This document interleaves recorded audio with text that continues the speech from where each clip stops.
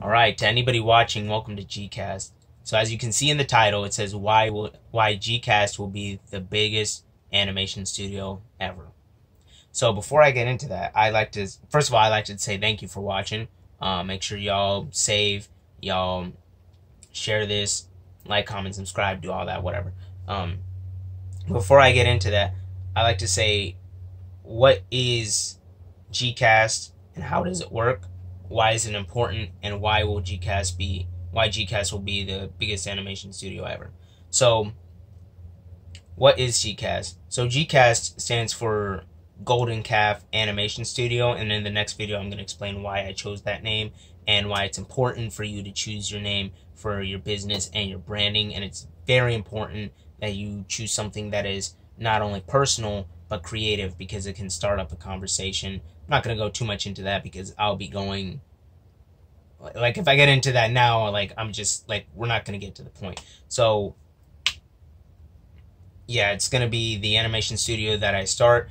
Um, it's going to be helping animators with social media marketing, with monetizing, with um, improving their art. Because aside from improving their art and improving their animations, um, nobody, I've never really seen anybody really talk about animation when it comes down to business.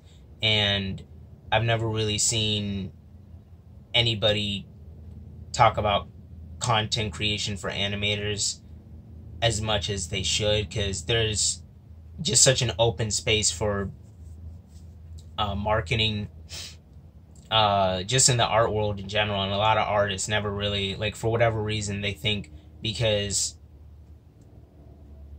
because you know they have to wait like a couple months for you know the new season of whatever show or they have to wait a year for you know their favorite artist new album that they think you know this type of art takes a long time and that you can't just um, post every day. And I'll be going into strategies that can help you post. And you don't really have to post videos every day. Um, there's multiple other things like community and polls and all that, which I'll be going into in other videos. But yeah, I've like I you know I looked in the animation space and I really I like I've always loved the not not not and like I've loved animation like because you know everybody does. I mean everybody has like at least like a cartoon that you know they've liked. But I, I always like the behind the scenes, the breakdown whenever you know whenever the characters are moving and uh, like you can either just hear the voice or just hear the music or just hear the sound effects. And it, you know it, it creates this ambient and ominous feeling this feeling like hey you know we can add this or we can add like it, it kind of like like it's something swells up in me every time i see like um, an animation breakdown or mainly like the behind the scenes of uh, major studios whenever they show um, you know the storyboards and the animatics of you know their animations rather than just the final product and it helps you um, not not just as the artist but as the uh, viewer and consumer and the customer to really like respect and enjoy um, the whole process and the end product a lot more so you know, I wanted to post more about that, especially when whenever I'm aiming maybe maybe I'll have my own show at 25, maybe I'll have my own show at 30.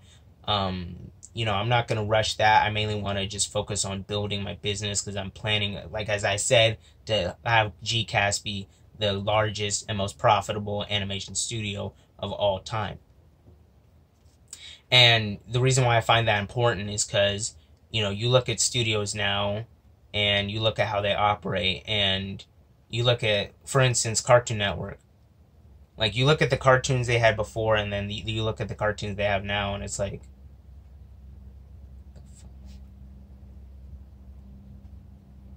and, you re- you realize that a lot of them don't really care about the like like after I don't know how to say it. They they care they they they only really go where the money goes. They they don't really want long term money.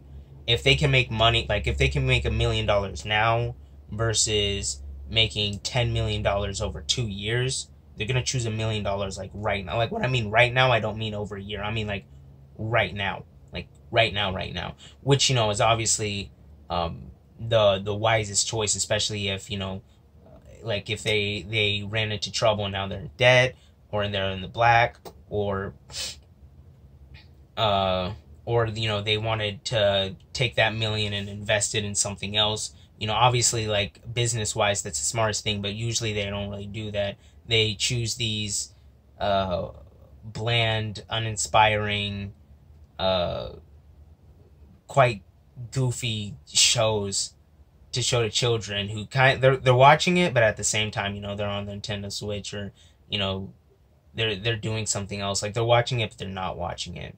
And you know that's on the consumer side and on the side of production you know animators don't really get treated well they like especially in Japan they don't really get paid that much.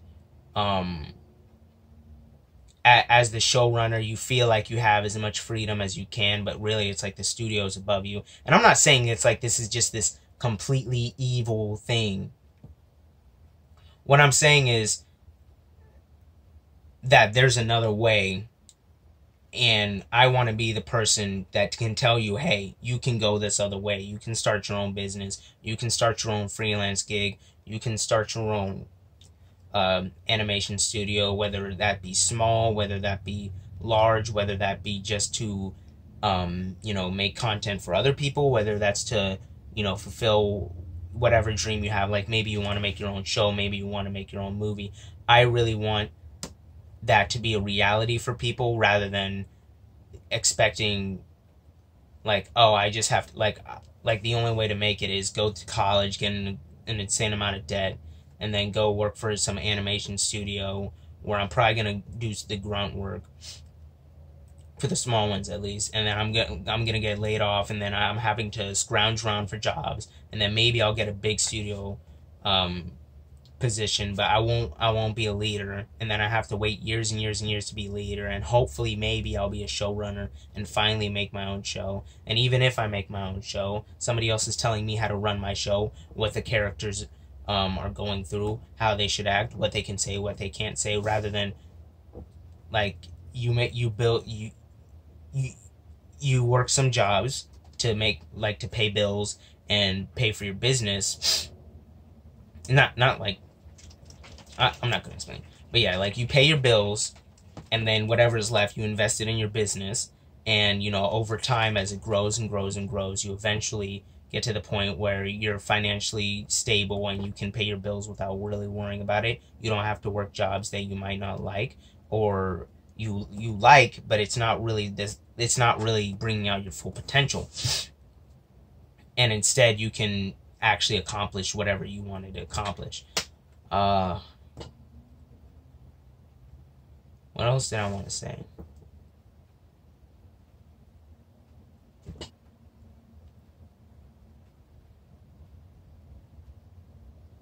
And all I have to say is, you know, when it comes down to social media, mainstream media, and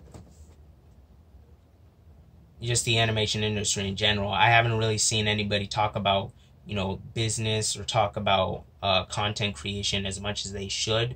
And I want to be the guy who at least kicks the door down so that me like somebody who wants to build their own studio and other people who want to build their own studio or uh, just work on projects that they actually want to work on can actually do it rather than have to like accept just working for a studio or just you know working for freelance for years and years and years and years and years. And then you know whatever money they saved up now they can hire people and now they can do their studio. Rather than that it's like okay if we go down this route it's gonna be it's gonna be a little painful, but there's more reward, and it's much it's faster and more efficient than spending years doing like eating shit to finally get what you want.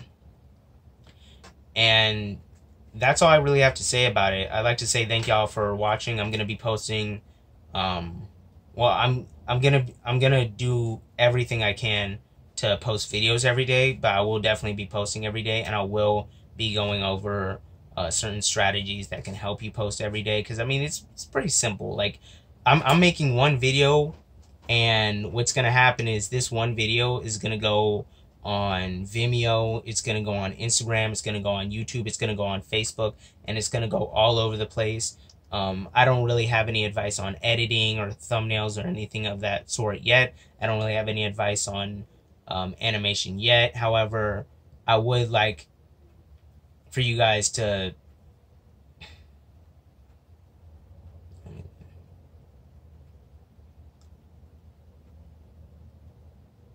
However, it would be a pleasure if you guys follow me through this journey as I start from where I am, where I only really have my phone, which I'm recording on, and my Lenovo C340, which um, I'll be kind of editing, not not not editing, editing, but you know, kind of editing and um, distributing uh, my content through. So I like to say thank you guys for watching. Make sure y'all like, no, no, no, save, then share, then like then comment, then subscribe to all my platforms. Um, I'm gonna be having my own website soon. I'm gonna have my own Patreon set up soon. Um, I might start off with Linktree. I I don't like Linktree's alright, but at the same time, it's like they they just keep bothering me with emails, and it's just better to have your own website, which I'll go into the future. But thank you guys for watching, and I hope y'all have a great day.